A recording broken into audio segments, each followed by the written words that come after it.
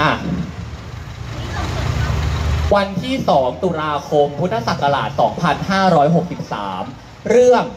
ขอให้ยกเลิกระเบียบทรงผมของโรงเรียนสามเสนวิทยาลัย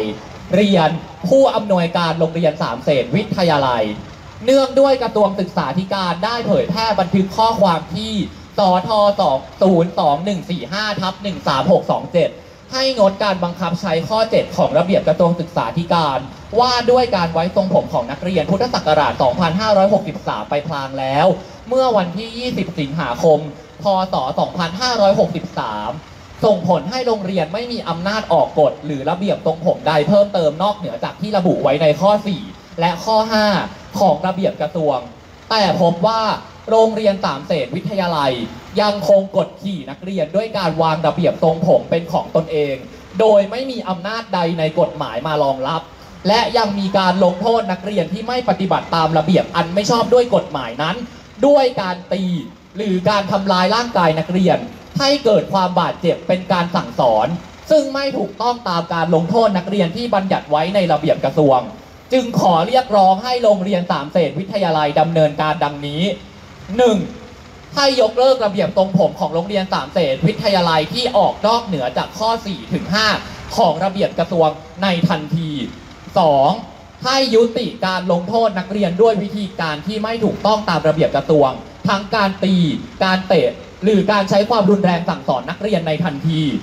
จึงเรียนมาเพื่อให้ดำเนินการตามข้อเรียกร้อง เพื่อให้โรงเรียนสามเสนวิทยาลัย เป็นโรงเรียนที่สง่างาม และเคารพกฎหมายบ้านเมือง สมกับฐานะแห่งการเป็นหน่วยงานราชการที่ต้องอยู่ภายใต้กฎหมายไทย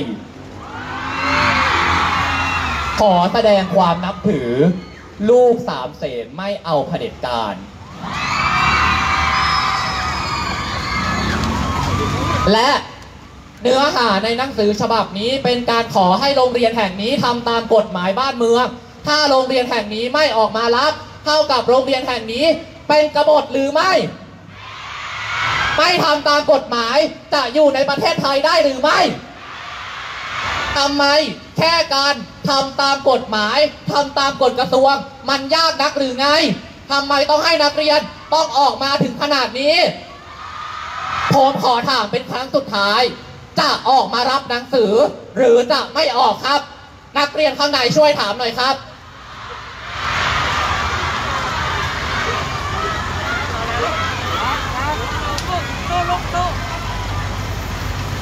จะออกมาไหมครับ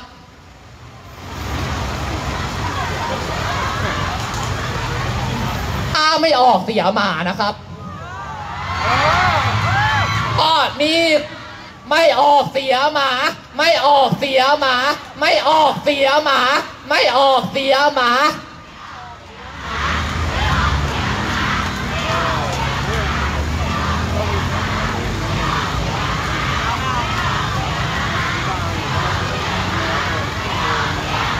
อะเสียเวลาผมมากพอแล้วเวลาของผมก็มีค่าเหมือนกับเวลาของพวกท่าน ผมจะนับสามถึงหนึ่งถ้าไม่ออกมา เราจะดำเนินการมาตรการต่อไปในทันที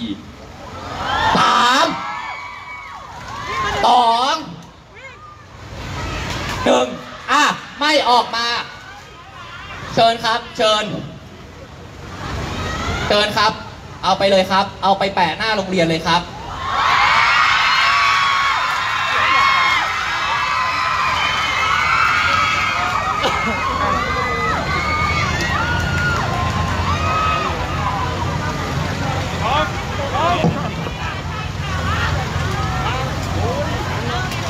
ในเมื่อโรงเรียนสามเสนวิทยาลัยทำตัว ละเมิดกฎหมายบ้านเมือง ไม่เคารพกฎกระทรวง เพราะฉะนั้นก็สมควรแล้วที่จะต้องถูกประจานเช่นเดียวกับที่ท่านทำกับนักเรียน ตอนนี้ที่หน้าโรงเรียนของท่าน มีป้ายไวนิลขนาด 5 เมตร เขียนว่าโรงเรียนแห่งนี้ ละเมิดกฎกระทรวง ก็ให้ทั้งโลกมันรู้ไป ให้ทั้งชาวสามเสนที่อยู่ละแวกนี้ มันรู้ไปว่าโรงเรียนนี้ไม่เคารพกฎหมาย ไม่คิดที่จะทำตามกฎหมาย และไม่คิดที่จะรับฟังเสียงของนักเรียนเลยทุกคนพูดพร้อมกัน โรงเรียนนี้ไม่เคารพกฎกระทรวง โรงเรียนนี้ไม่เคารพกฎกระทรวง โรงเรียนนี้ไม่เคารพ กฎกระทรวง โรงเรียนนี้ไม่เคารพกฎกระทรวง ค่ะ ทุกๆท่านนะคะที่เดินผ่านไปผ่านมาพ่อแม่ผู้ปกครองนะคะ เห็นอย่างวันนี้แล้วท่านยังจะกล้าส่งลูกหลานของท่านมาเรียนในโรงเรียนแบบนี้อยู่อีกเหรอคะ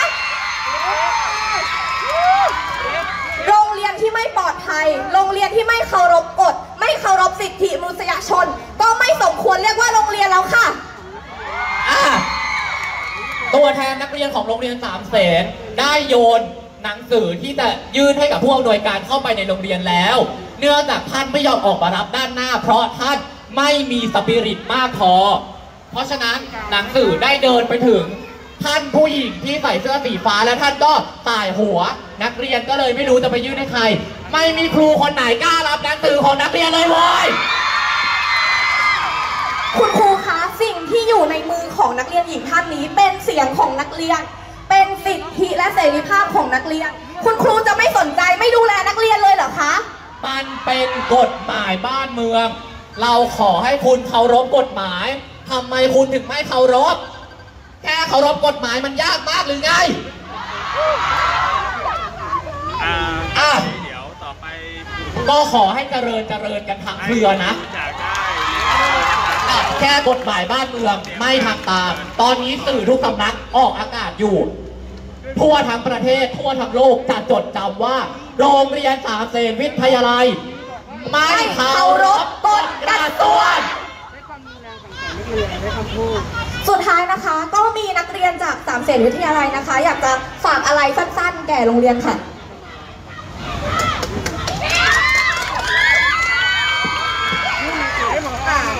คือโรงเรียนนะคะก็พูดกับ เราอยู่ตลอดว่าเราตัดผม เราใส่ชุดนักเรียนเนี้ยเพื่อเกียรติและศักดิ์ศรีของความเป็นลูกสามเสนค่ะ แต่ในเมื่อโรงเรียนสามเสนนี้มีเกียรติยศ มีนักเรียนเนี่ยที่มาเรียนทุกวันนี้โรงเรียนดังได้เพราะนักเรียนค่ะ แต่กลับไม่ให้เกียรตินักเรียนแม้แต่ทรงผมยังมาบังคับเรา เราคิดว่าโรงเรียนเนี้ยอยู่ได้เพราะนักเรียนมีเกียรติมีศักดิ์ศรีมีทุกอย่างเพราะนักเรียนทำไมเรื่องแค่นี้ถึงทำเพื่อนักเรียนไม่ได้คะ แค่เรื่องผมอะค่ะ เราเป็นคนเราไม่ได้เป็นสัตว์ เราไม่มีไม่มีสิทธิ์ที่จะมาควบคุมความสั้นยาวของผมของเราอะค่ะ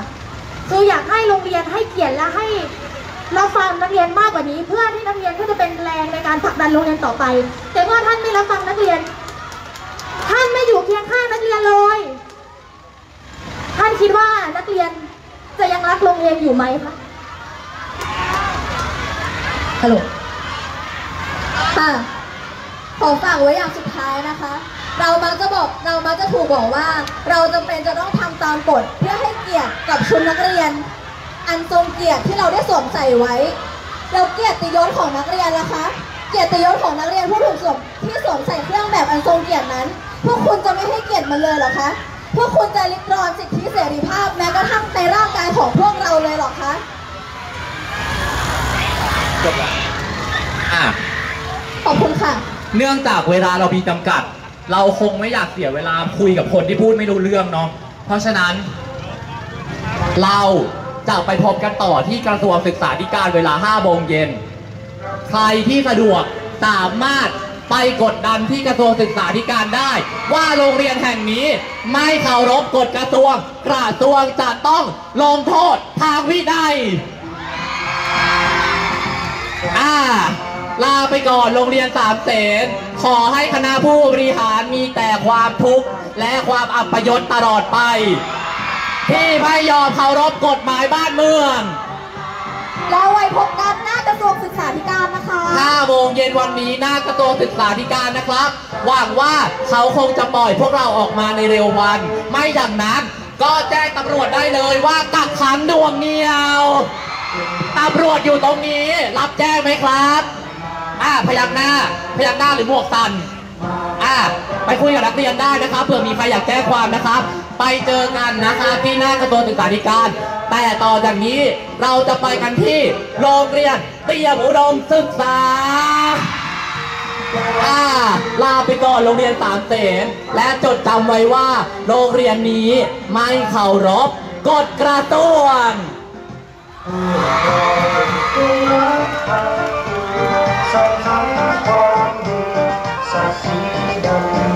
เออชื่อเสียปนปี้ก็งานนี้แหละวะ ไม่ใช่นักเรียนปนปี้อีผู้อำนวยการอาไปเลยครับรถขับไปเลยครับ